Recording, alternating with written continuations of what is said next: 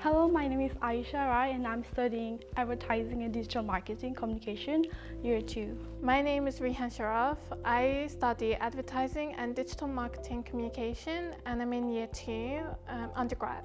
I decided to apply to student agency because it was a great opportunity for me to experience and also I was interested in how real agency work.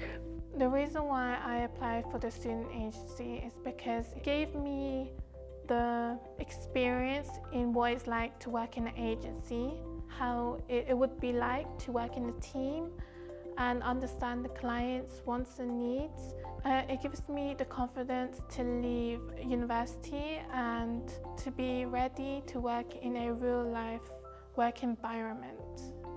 And as I take risk, don't hesitate in what you can't do because it will restrict you to what you would um, apply to you. What I learned from the agency is working in a team, especially when there, there were like people who are in different year.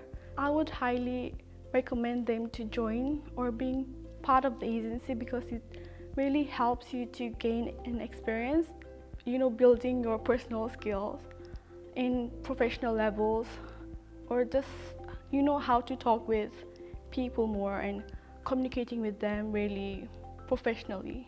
What I have learned while working in a student agency is many technical and soft skills such as um, teamwork, organization, and also it was very helpful working with um, the mentor because they gave us the soft skills and knowledge in how to deal and work with clients to get a better result and achieve what both the team and the client want.